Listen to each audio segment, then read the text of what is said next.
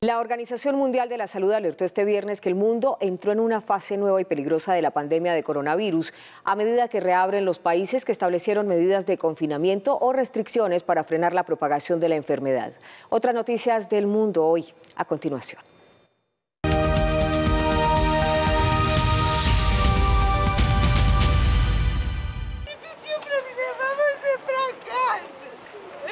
Brasil superó este viernes el millón de casos positivos por coronavirus.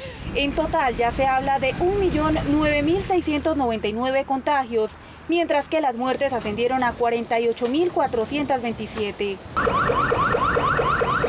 Sin embargo, el presidente brasileño Jair Bolsonaro volvió a criticar las medidas de aislamiento social aún vigentes en algunos estados y municipios del país.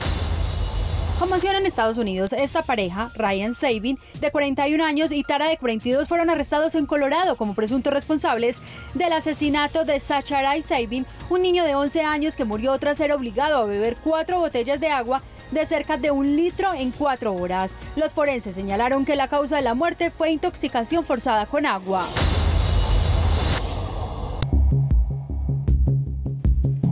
Impresionante operativo en el océano. Varios rescatistas lograron liberar a dos ballenas jorobadas que quedaron atrapadas en redes para caza de tiburones ubicadas frente a la costa de Oro en el este de Australia.